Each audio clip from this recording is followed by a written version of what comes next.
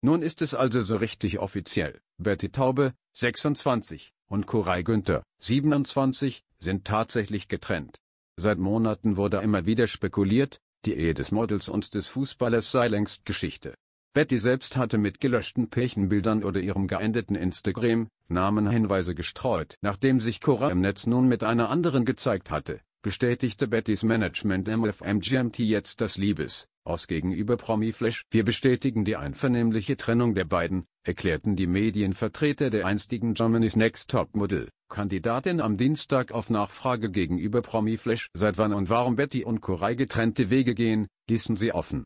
Das X-Paar hatte sich 2016 das Ja-Wort gegeben. Während Betty lange ein Geheimnis um ihren aktuellen Beziehungsstatus machte, zeigte sich Koray gerade erst mega happy mit einer neuen an seiner Seite dem italienischen Model Veronica Loy. Ein Pärchenbild der beiden hatte die Blondine in ihrer Story mit Mein an und alles betitelt.